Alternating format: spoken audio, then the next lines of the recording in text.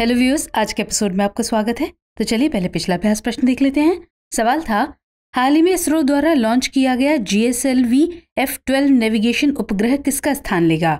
Option थे A I R N S S one G B I R N S S one A C I R N S S one F या फिर D I R N S S one H तो इसका सही जवाब था option A I R N S S one G चलिए अब इसका विश्लेषण देखते हैं। आज इसरो के जीएसएलवी एफ़ ट्वेल्व ने नेविगेशन उपग्रह एनवीएस वन को इच्छित कक्षा में सफलतापूर्वक स्थापित किया।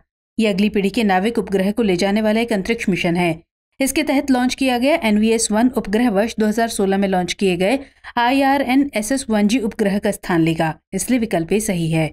आपको बता दें कि नाविक सात उपग्रहों का एक समूह है, जो नागरिक उपयोगकर्ताओं के लिए मानक स्थिति सेवा और रणनीतिक उपयोगकर्ताओं के लिए प्रतिबंधित सेवा प्रदान करता है। इसके लिए तीन उपग्रहों को भूस्थैतिक कक्षा में और चार उपग्रहों को झुकी हुई भू समकालिक कक्षा में स्थापित किया गया है। ये भारत और इसके आसपास के 1500 किलोमीटर तक फैले क्षेत्र को कवर करता है। चलिए अब आज के सेशन का पहला सवाल। पीएम मित्र पार्क किस मंत्रालय संस्थान की एक पहल है? इलेक्ट्रॉनिक्स और सूचना प्रौद्योगिकी मंत्रालय, कौशल विकास और उद्यमिता मंत्रालय, सूक्ष्म लघु और मध्यम उद्यम मंत्रालय या फिर वस्त्र मंत्रालय? तो सही जवाब है ऑप्शन डी, वस्त्र मंत्रालय।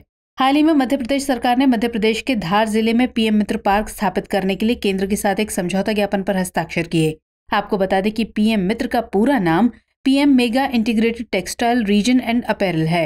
वस्त्र मंत्रालय ने 2021-22 के केंद्रीय बजट में घोषित सात पीएम मित्र पार्कों की स्थापना के लिए अक्टूबर 2021 में एक अधिसूचना जारी की थी। इसलिए विकल्प डी सही है।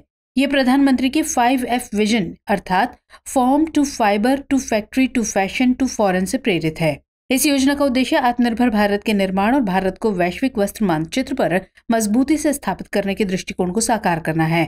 पीएम मित्र पार्क एक स्थान पर कताई, बुनाई प्रसंस्करण या रंगाई और छपाई से लेकर परिधान निर्माण तक एक एकीकृत वस्त्र मूल्य श्रृंखला बनाने का अवसर प्रदान करेगा।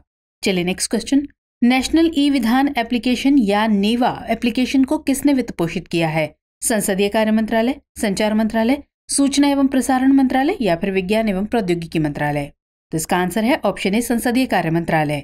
हाल ही में संसदीय कार्य मंत्रालय ने नई दिल्ली में राष्ट्रीय ई विधान एप्लीकेशन या नीवा पर दो दिवसीय राष्ट्रीय कार्यशाला का आयोजन किया।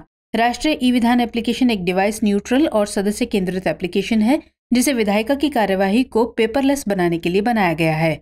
ये भारत सरकार के डिजिटल इंडिया कार्यक्रम के तहत चवालीस मिशन मोड परियोजनाओं में से एक है। इसका उद्देश्य सभी राज्य विधानसभाओं के कामकाज को डिजिटल हाउस में बदलकर पेपरलेस बनाना है। इसके लिए वित्त पोषण संसदीय कार्य मंत्रालय द्वारा और तकनीकी सहायता, इलेक्ट्रॉनिक्स और सूचना प्रौद्योगिकी मंत्रालय द्वारा प्रदान की जाती है। इसलिए विकल्प सही है। अगला सवाल, हाल ही में खबरों में रही जोजिला टनल किन शहरों को कनेक्ट करेगी? जम्मू और श्रीनगर, लेह और कारगिल, श्रीनगर और लेह या फिर मनाली और लेह? तो इसका सही उत्तर है ऑप्शन सी, श्रीनगर और Leh. Mega engineering and infrastructure limited यानी एम के इंजीनियर जोजिला टनल को युद्ध स्तर पर पूरा करने में लगे हुए हैं।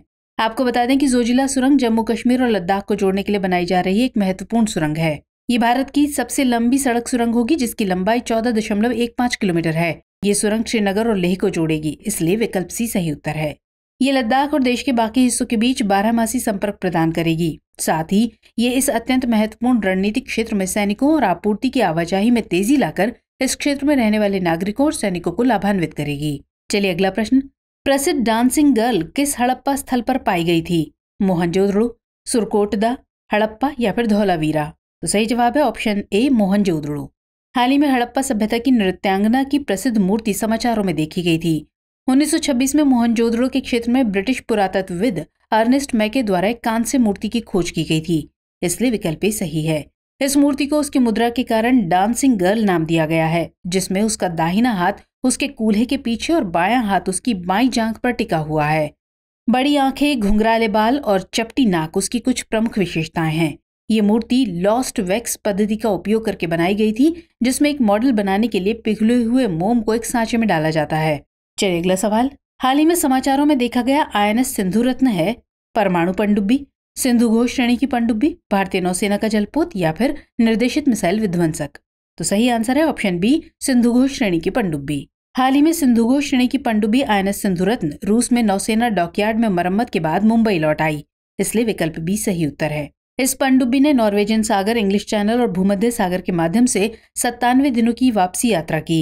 इसे रूस में मीडियम रिफिट लाइट सर्टिफिकेशन प्रक्रिया से लैस किया गया है, जिससे इसकी उम्र बढ़ गई है। आपको बता दें कि आईएनएस सिंधुरत्न को दिसंबर 1988 में भारतीय नौसेना में शामिल किया गया था। इसमें 2300 टन का विस्थापन 300 मीटर की गहराई में गोता लगाने और 18 समुद्री मील की शीर्ष गति प्राप्त करने की क्षमता है। ये 50 से अधिक क्रू के साथ 45 दिनों तक काम करने में सक्षम है। चलिए आगे बढ़ते हैं। ग्रीन टग ट्रांजिशन प्रोग्राम के संबंध में निम्नलिखित कथनों पर विचार कीजिए। पहला कथन, ये बंदरगाह, नौवहन और जलमार्ग मंत्रालय की एक पहल है। और दूसरा कथन, इसका उद्देश्य 2030 तक भारत को ग्रीन शिप के लिए ग्लोबल हब बनाना है।